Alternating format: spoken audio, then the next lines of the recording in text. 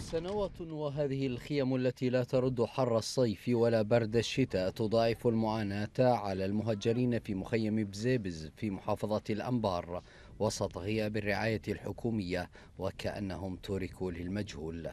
والله معاناتنا والله حالنا حال حشل يعني هذا حتى الحيوانات ما يعني ما تقدر تسكنها.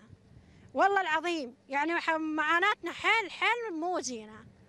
والله. ونريد نريد مي نريد يعني مي شرب نريد مي غسول. ووزارة الهجرة ولا تجينا ولا تسكننا وفي ظروف الصيف اللاهب يزيد انقطاع مياه الشرب من ظمأ المهجرين وسط انقطاع التيار الكهربائي عن المخيم.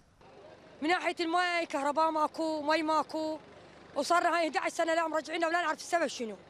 ندعى الوزير الوزيرنا بكثير يعني يرجعونا يشوفوا لنا حل لهاي يعني هسه جهالنا مرضى لاكو طبيب هم يمنا مي يعني مي هسه هنا وبماكو وإمعانا في مضاعفة مأساة مهجري مخيم بزيبز. تتجاهل وزارة الهجرة والمهجرين أوضاعهم ولا تقدم لهم ما يكفي لسد رمقهم ورعاية أطفالهم. والله معناه مؤاساة بكل معنى الكلمة. ما يعني إيش توصفها من من من من من مأساة؟ حر ها؟ برد كهرباء ماكو الحالة المادية تعبانة. الهجرة تجي مو ما تجي تجي بس فترات وتنقطع فترة. وش يجيبوا لك؟ كرتونة كرتونة شو يسوي لك؟ حمصات وعدسات وبطل زيت يكفيك اللي عنده عائلة ثمان نفرات وعشر نفرات. شو يكفيها؟